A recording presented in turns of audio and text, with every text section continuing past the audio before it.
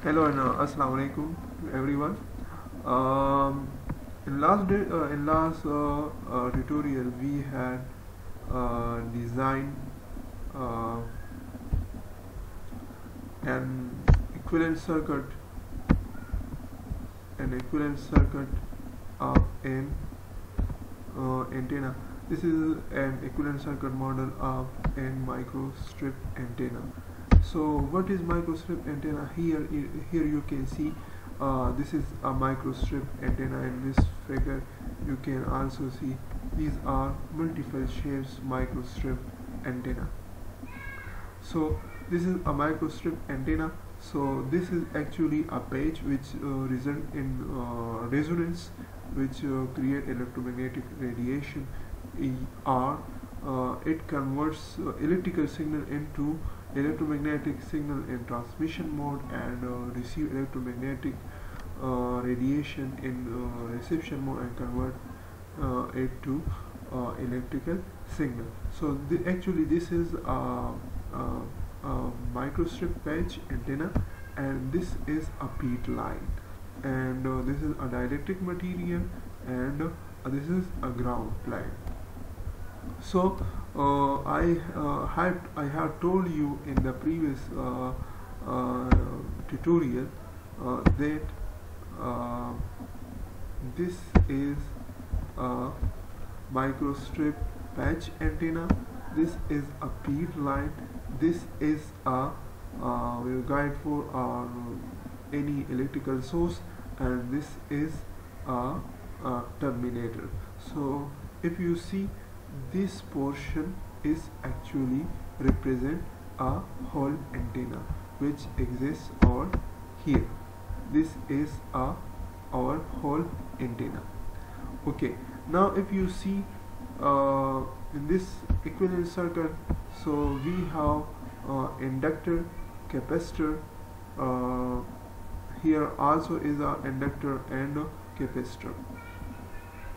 So what this inductor capacitor actually represents in this circuit uh, are what what actually they are representing uh, the uh, equivalence uh, what they I mean what they are actually representing uh, to the and how it is representing to this antenna. So if you see this is a ground plane and it is also um, conductor. And here is uh, also a conductor. So wind current pass uh, wind current pass from a conductor. So due to the motion of electron electromagnetic field creates around it. And uh, when electromagnetic field creates uh, so by default uh, inductance is also create over there. So actually this inductor uh, this inductor uh, represent this portion of uh, electrical um, antenna and uh, this this inductor represents this portion this portion of a feed line. Now let's come to capacitance. Why this capacitance exists over here and uh, uh, and it over here too. So its answer is that when electron uh, when AC current flows from over here so here uh, electric field creates between these two conductors so that result in the form uh, of uh, capacitor over here and here too. So due to uh, the electric field over here a capacitance actually exists in this so uh, RLC circuit.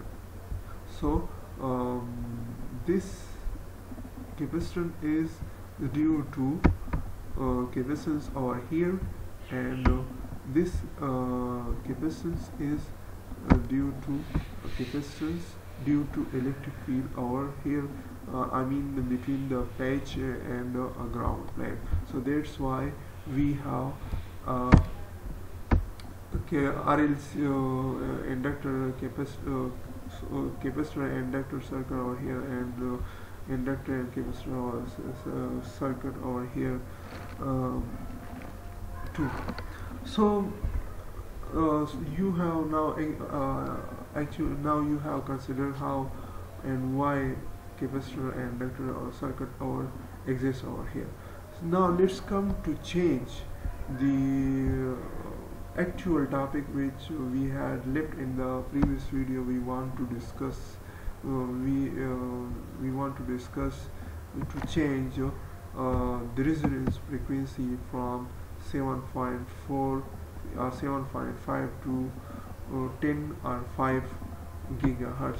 So for that purpose uh, we will need to change uh, the value of uh, inductor or capacitor so let's begin from inductor. So I am changing its value from uh, uh, okay.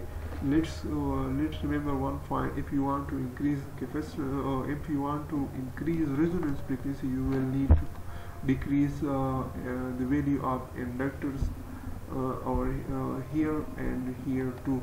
And if you want to in, decrease the value of uh, resonance frequency you will need to increase the value of uh, inductor either the value of inductor or capacitor too. Uh, so it's up to you.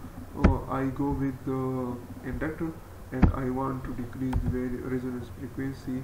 So I'm selecting 1.2 and uh, inductor value I also want to change it to 1.2